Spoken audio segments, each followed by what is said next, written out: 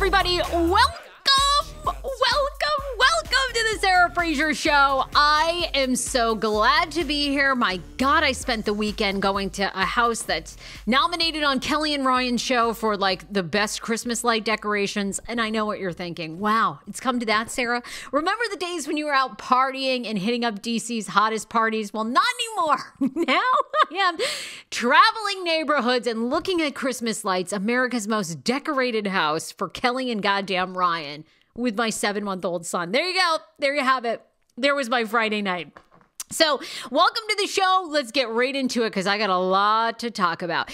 I want to thank one of our sponsors, Radley Acura. So, now's the time to be buying a car, which you might think, is it? It's crazy with the supply chain, but it's the best for you. If you've got a lease or a car that you want to trade in, you can get top dollar right now. That's right. Radley Acura in Falls Church, Virginia wants to buy your lease or your used pre owned vehicle, however you want to say it, at top dollar. You can even find out and get an appraisal all online. Go to radleyacura.com. I love partnering with them. They have brand new inventory coming in nonstop all the time. And now's the time to buy an Acura. Acura is about affordable luxury and safety. Whether you're starting a family, whether you want a sporty ride that also keeps you safe, Radley Acura has got you.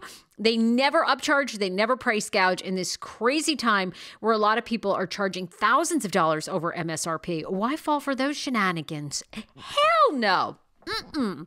Now you can go to radleyacura.com. And the best part is you don't even have to spend hours at the dealership. Remember in the old days where you had to clear out your entire Sunday to go buy a vehicle? Not anymore. You can actually look at their inventory online. You can get pre approved. You can find out if you want to finance through them or someone else. You can get a value for your trade in, all there. Just go to radleyacura.com. All right let's get into it. So, uh, my husband and I are fighting per usual. I mean, does Schman and I ever really fight? Mm, Not really, you know, but I mean, we do, we are currently having an argument over a white elephant gift. I'll tell you about that. Would you rather be with someone hot or intelligent?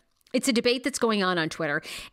Von Dutch. Have you watched this documentary on Hulu? Now, this came out over the Thanksgiving break, but I didn't have to, you know, really, I took a break from social media, from podcasting. I'm really trying to be present now that I have a child.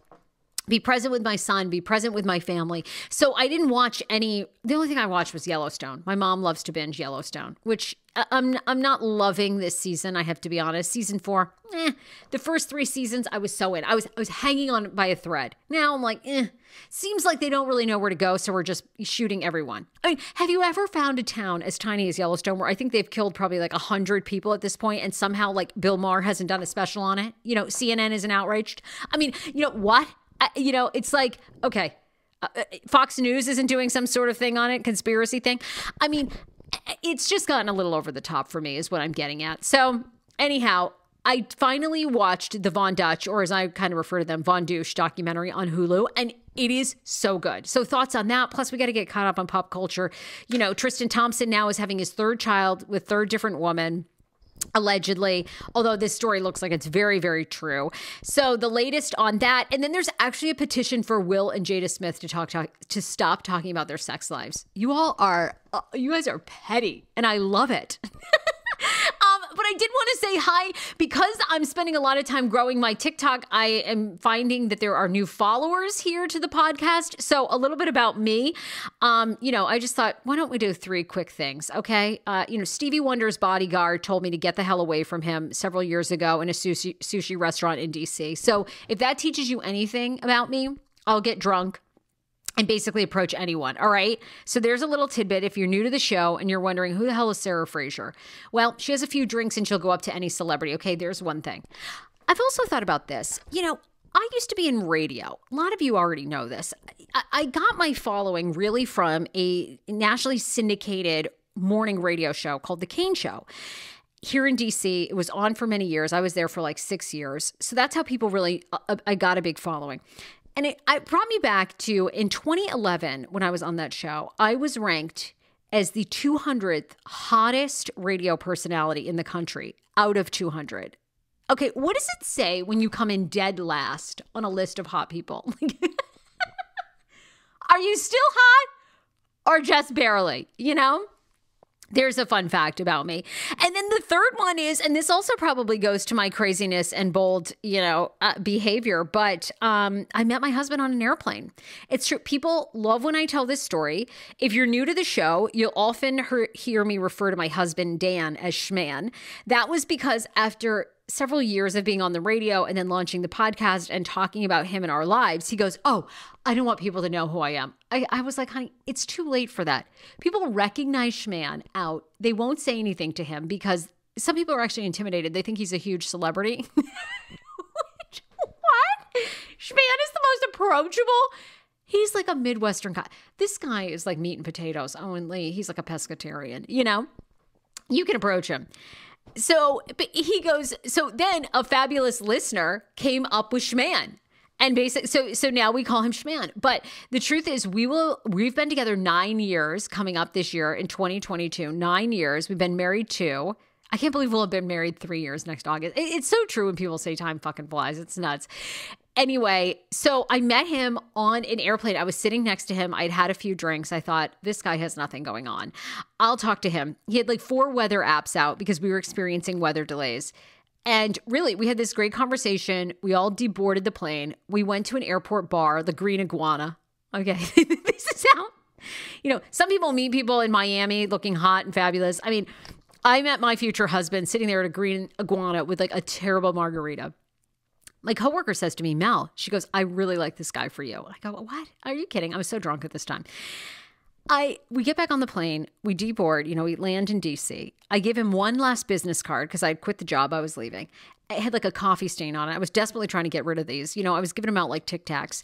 And he like he emailed me. I didn't even put my cell phone. I'd gone on so many bad dates. I didn't even want to give this guy. I thought this guy's going to be another loser, you know. Anyway, I he emails me, he puts his cell phone number at the bottom. My girlfriend had to guide me. I, I have like I, I don't really have any game either, I guess. At the bottom, so she goes, he wants you to text him. So I texted him and then it was off from there. We went on Christmas break. It was like two or three weeks. We went out to dinner and been together ever since. Well, I mean, I dumped him a few times, but then, you know, we got back together. So So if you're new to the show, I hope this gives you a little bit about my personality. I talk to anybody on this podcast from reality stars to rebels. They're all on the show. I'm obsessed with TLC shows. Thousand Pound Sisters, I can't get enough, you know? So tune in, brand new episodes Monday and Wednesdays, and probably in the new year going Monday, Tuesday, Wednesday with brand new shows and guests. So there you go. You always have something to look forward to on the Sarah Fraser show. Let's talk about the documentary Von Dutch. Well, it's actually Von Dutch. It's The Curse of Von Dutch on Hulu. It's been out for a couple weeks. If you haven't watched this three part series, it's so good. Does everyone remember Von Dutch? I, it's so funny because I was a super brand whore in the early aughts, but I don't remember. I don't think I ever owned anything Von Dutch. I really do want to say Von Dutch. Von Dutch. And of course, they were known for their trucker hats. And in the early aughts, Paris Hilton and Nicole, um, oh my God, why am I drawing Nicole Richie? Thank you. Uh, were really the people that catapulted them because Von Dutch would allow celebrities to go into their Hollywood store. They could pick out anything they wanted. This is including Whitney Houston. Whitney Houston, her daughter, who was alive at the time, and uh, Bobby Brown went in with some friends. They came out with 30 bags of Von Dutch. Everybody wore everything. Um, and so they were the ones they went on the simple life and they got their like trucker hats and trucker outlet outfits to be on it and that's one of the things that really catapult, catapulted von dutch the story is insane. It's definitely cursed. It starts with this guy Bobby Vaughn and Mike Cassell who were who ended up buying kind of the rights to Von Dutch, who was an artist in the early like in the in the 40s and 50s and really was in that surfer scene, car scene, motorcycle scene. Von Dutch was like a great artist. He's the, he's the guy that kind of invented the whole some of their looks, the designs, the whole thing. But Bobby Vaughn, Mike Cassell, who are you know who are very talented guys, but also hang out with these sort of underworld of people, you know, of, of shady people, right? Um, they buy the brand and they start off and Bobby Vaughn was like amazing. He he also like ran with great celebrities. He was actually the very first that got um, Tommy Lee and Pamela Anderson to wear the items like on MTV. So they really had started the brand, but it, it wasn't making any money. Mike Cassell, amazing, like an incredible artist as well. They're kind of catapulting Von Dutch, right? They're getting like good things going, but they can't figure out how to monetize it. So this other guy ends up coming in, this Dutch guy who was like, he was a gold medalist, um, Tony Sorensen.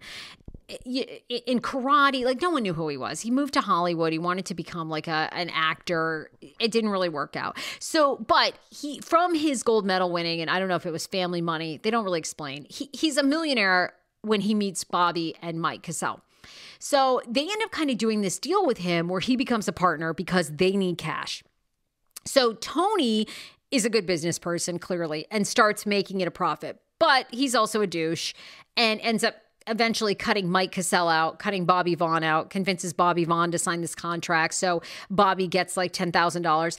Now, the thing about this documentary, I loved it. I absolutely loved it because I had no idea that there was so much drama around Von Dutch, including like this racist manifesto. I was like, what? I never heard of any of this.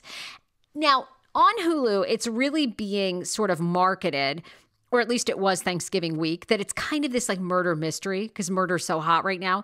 So this guy, Mark Rivas, is killed by Bob- Bobby Vaughn, who I told you about, who's very good looking. Um, you know, schmoozes with a bunch of Hollywood people.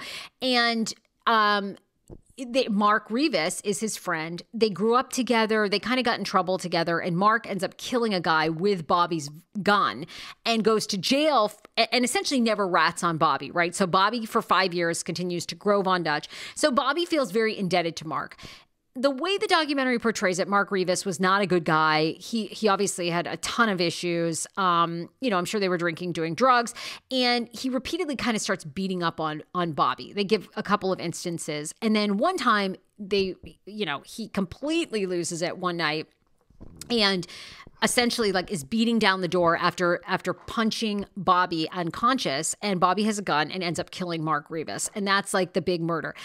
And it's like, well, yeah, but Mark Rivas really wasn't attached to Von Dutch aside from like threatening Mike Cassell and like, you know, kind of getting involved because Bobby felt indebted to him, you know, for this this prison sentence that he did for him, you know, which I can understand. I mean, if someone did that for me, I'd feel like I owe them forever. Bobby ends up killing him, but whatever, you know, whatever it was, okay. Uh, one way or the other, there's an entanglement. They're entangled. So that was the murder that really, I guess, is kind of an extension of the curse of Von Dutch, but I'm sure like a lot of other companies have stories like that.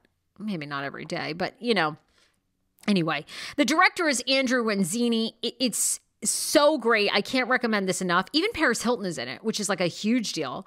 She talks about the rise of Von Dutch. I, am so curious too. Did you own Von Dutch um, any of their clothing, the trucker hats. The trucker hats would sell $45, $85, which was revolutionary. No one used to pay that for like a baseball hat. They were like the first to really do that. Um, they were in like Nordstrom's, they were in all the high end stores, Fred Segal. So, you know, Tony ends up cutting out uh, Bobby and Mike, who, who, are artistic geniuses. He ends up bringing in this Christian Audigier, and Christian becomes like really he sort of is a designer that then takes um, Von Dutch to like the next level, ends up leaving, started develops Ed Hardy, and then I'm sure everyone I completely remember Ed Hardy because I feel like um oh my god, I'm gonna draw a blank. But who was the reality star from um, Jon and Kate plus eight? Oh my god, you know Jon. Um, oh my god, Jon and Kate plus eight. Um, oh, he would wear Ed Hardy shit everywhere when Jon and Kate plus eight was like Jon Gosselin. Thank you. Google. Um, he would wear it like everywhere. And he sort of also made Ed Hardy, like put them on the map to some degree. A lot of celebrities wore Ed Hardy, and Christian just knew how to replicate what they had done with Von Dutch. So, you know, the the it shows all these things that start to go wrong. They made hundreds of millions of dollars for a couple of years there in like 2005, 2006. Tracy Mills, this guy, he is his brother was an NBA star. He um also is the one that starts bringing in a lot of celebrities. Um black celebrities. He's very close with Jay Z. He brings in Whitney Houston. He brings in all these people. So he also is the one that takes it even further, the brand furthers it, gets it on, you know, every celebrity wore their stuff. And then, of course, comes their downfall. So, what ends up happening, they're making hundreds of millions of dollars. Also, they oversaturate it. Christian, the designer, is like, he'll put it on anything. He does all these deals. I mean, it was on Red Bull drinks. They would cross over and do Von Dutch on everything. So at some point, it was no longer unique. Celebrities didn't want to wear it. The brand didn't evolve. But in the meantime, what we end up happening, the guy who was Von Dutch, the artist in the 40s and 50s, we end up finding out someone releases on his deathbed which was in like the 80s he writes this like manifesto of how he never of how he like hates black people hates mexicans hate like it's the most racist thing you know you've ever like in handwriting you know so that comes out Tony Sorensen is like, yeah, actually, we were kind of the first um, people that were subjected to cancel culture because once that happened, a lot of people like started backing away from the brand. Of course, like other corporate places, corporate people. And in 2010, 2011, Tony Sorensen, I can't even believe the brand was still around then, sells Von Dutch. And I don't even know if Von Dutch still exists now. Great question. So, and then of course, Christian moves on to uh, do Ed Hardy. Bobby Vaughn ends up doing a settlement with with Tony because Tony got him to like share a shady deal in the meantime, you know, there's this Mark Rivas murder, and then the Escobar family somehow gets involved because of Mike Cassell. It's it's so it's so convoluted, and I think it does an amazing job of actually showing that damn, there is a curse. There is totally a curse, and there's a curse in the sense of Von Dutch was okay, obviously a racist, but also was an artist that did not want to be mainstream. And while the rights to his name and his art were sold, there were a couple people that were purists that really wanted to honor him, but essentially it takes on a whole nother turn. And then it does seem like, damn, it was cursed by like, uh, like Von Dutch. Lord, he came back and he had his revenge because everybody involved, their lives were like so traumatic, with the exception of Tony Sorensen, who I think makes out really well. Because Christian ends up dying in 2015. Um, so he ends up dying of like, I think of a heart attack or something very young, like 57 years old, 54, 57 years old, the designer that made these brands so hot. Mike Cassell lives in like a trailer in Northern California. Bobby Vaughn seems like he's doing pretty well getting his life back together. I can't recommend this documentary enough. I love a documentary that keeps you going, that keeps you hooked, that makes you think. It does all those things as I mentioned, Paris Hilton is in it. Um, Tracy Mills is such an influential person. He plays such a key role. That was really good. So it's a must watch. And I had forgot how powerful that brand was. It really it skyrocketed to huge fame like Justin Bieber fame. It was so good. All right, let me thank a couple of sponsors and then we'll get into some other stories. And I want to know if a Testacuzzi is an inappropriate gift for a Secret Santa for your family. Okay, Schman and I are fighting over this.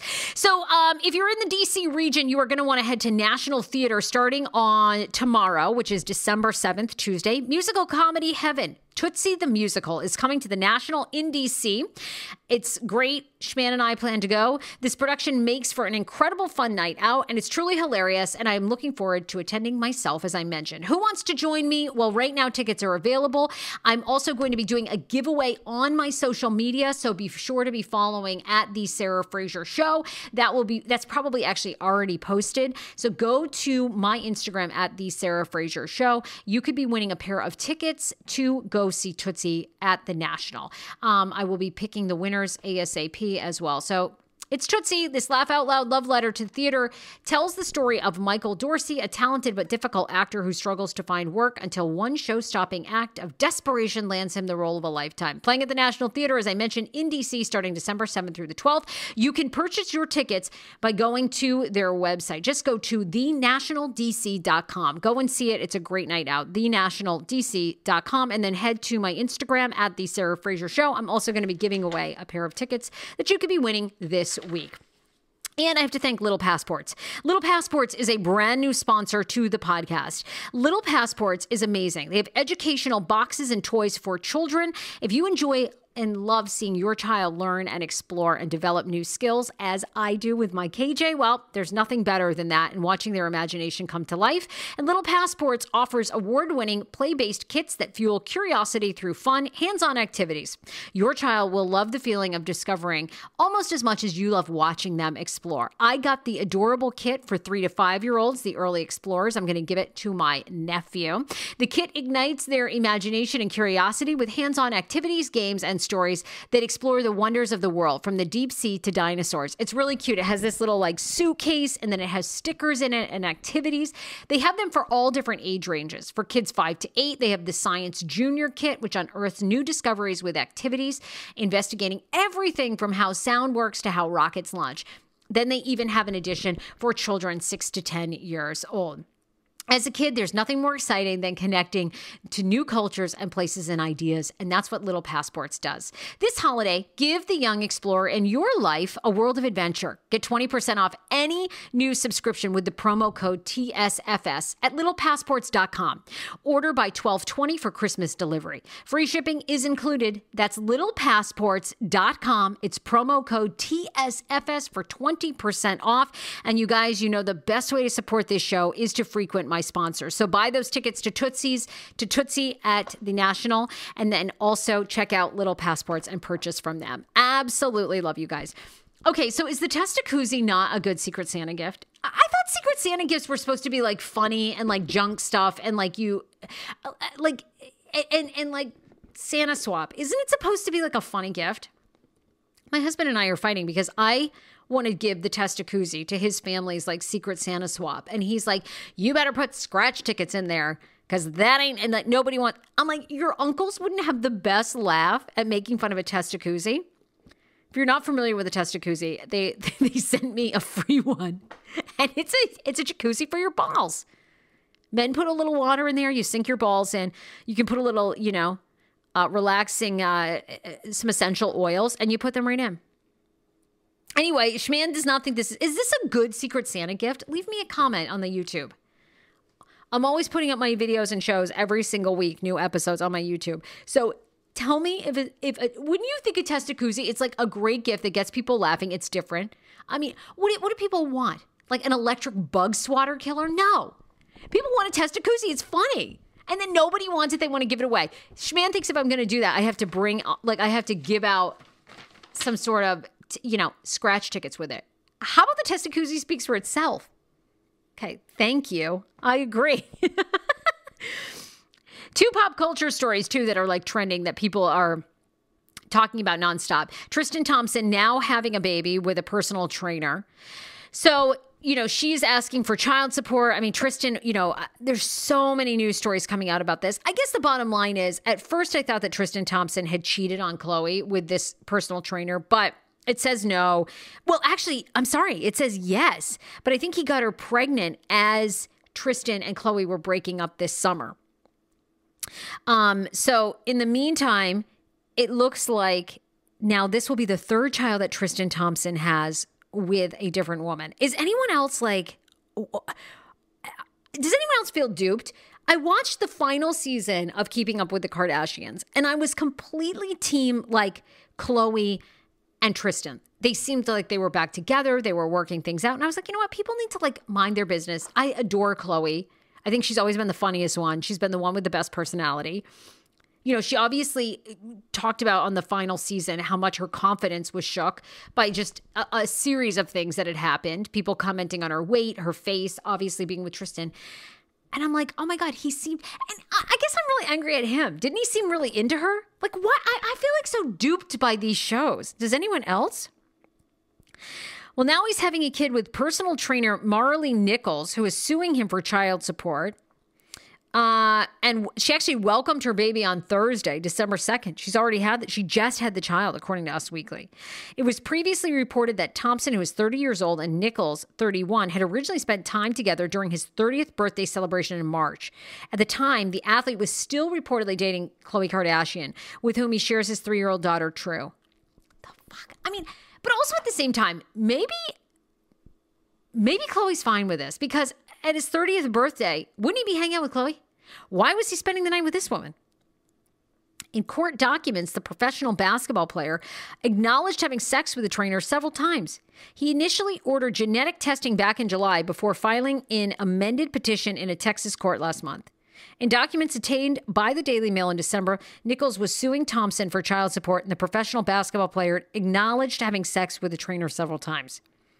She welcomed uh, Thompson welcomed his first child with ex Jordan Craig. The exes dated from 2014 until 2016, and Craig learned that she was pregnant shortly after the split. Their son Prince was born in 2016. Wow. In 2016, the Canadian native sparked romance rumors with Khloe Kardashian. A lot of people say that Khloe and Tristan were cheating when he was with this other woman, and the duo announced that they were expecting a baby in December of 2017. Days before the reality star was due to give birth, Thompson was unfaithful with multiple women. The pair initially stayed together after True's birth, but split one year later. That was, of course, the whole Jordyn Woods thing. What? God, poor Khloe, the drama. The drama. Well, now he has another one. So uh, apparently they're still co. You know, I would love to know what the truth is. I guess, will we ever know the truth now with the Kardashians? I don't know. And then, of course, you know, um, Kylie and Travis Scott put out a photo shoot, a maternity shoot for a magazine, and they basically say that they've they've been hanging out for two years, but they're not together. No kidding. She's smart to do that because it's like any guy these women date, forget it. The next week he's cheating, or you know, they're losing their marbles. It's like one or the other. Anyway, there's that. You could also be Will and Jada. I can't believe nearly 20,000 people have signed a petition for Will and Jada to stop talking about their sex life. You guys are shady as hell, and I love it. Can you imagine? Because Will Smith was talking about how when they first met, they do it all the time. Uh, and he even threw up from the amount of sex they were having. I mean, people are done with them. I kind of like it. I love all their I love all their highs and lows. Although I do have to say, I don't know. And you know, I've had I've had my highs and lows in my marriage already. Not not really since I've been married, but before. There was lots of drama before. And I'm sure if people knew all the drama of my relationship before, well, first of all, I know they'd tell Schman to leave. They'd be like, bye, leave this crazy bitch. But a change.org petition now has Will and Jada with over 15,000 signatures. It was launched by Dexter Morales in late November, and the petition simply reads Poor Will Smith and possibly alludes to the intimate information the couple has shared with the world over the past two years, including details about their bedroom life. Pinkett Smith's previous relationship with August Alsina, you know, he came out and basically said they had a threesome. Well, not they didn't have a threesome. He was with Jada. They were dating, and Will gave his blessing. And then, of course, that prompted a red table talk where Jada essentially admitted, yes, you know, I was with August because I was done with Will Smith. We were done with each other. People are tired of hearing about their relationship. I love hearing about it. I do. These two sound like they're going to be together for life, even though they basically hook up with other people. They've had breaks. It seems like they kind of they do kind of have that open relationship, and it works for them. I don't know. I like it. I like her red table talk a lot of the times. I think she, I think she does a good talk show. I really do. I'm kind of a fan. I don't mind. I love that they spill all their details. I mean, everything. The only thing left that we don't know about is the skid marks in their undies. There you go. Okay, last thing. People are debating if you would rather be with someone hot or intelligent. And uh, this was on Twitter. It was trending. And I, I thought this question was so good because I went back and forth and I thought, you know, I've dated people that are hot and are dumb. And then I've dated intellectual people. And I am very attracted to smart people. It's why I'm with Schman. Schman is so much smarter than I am. He's very, I, I just love him. He's, he's just diplomatic. He's he's very forward thinking. He's empathetic. Uh, all those. I'm very attracted to Schman's mind, but Schman, I'm also physically attracted to. You can't. You know, have you ever heard anyone wanting to get in Einstein's pants? No. I mean, you know, nobody is looking forward to like doing like sucking off Einstein. No one. You know, you have to be, you've got to be moderately intelligent and fair and decent looking. But like I watch Jeopardy. I mean, I, I don't care if these people know what sword Napoleon carried in 1512. They're hideous. I couldn't do them. You know, I mean, Ken Jennings, I'm sorry. You know, I couldn't do doggy style with Ken Jennings, regardless of how much money he won on Jeopardy. But I do say, but I will say, you know, nothing is worse than going out with a hot person. It gets old after a while. It does get old. Their bodies are hot in the bedroom, but they're just so stupid. I don't know. Uh, you know what? This one's a real. Uh, it's it's a mind fuck for me, really. So anyway, let me know. Um, share the show with someone that has never heard of or listened to the Sarah Fraser show. I would be so grateful. Be sure to be following me on Instagram because I got a great giveaway that I'm doing with um, the Tootsie, the musical, which is here in DC. You could win a pair of tickets or you could buy it from thenationaldc.com. Bye, everybody. Love ya.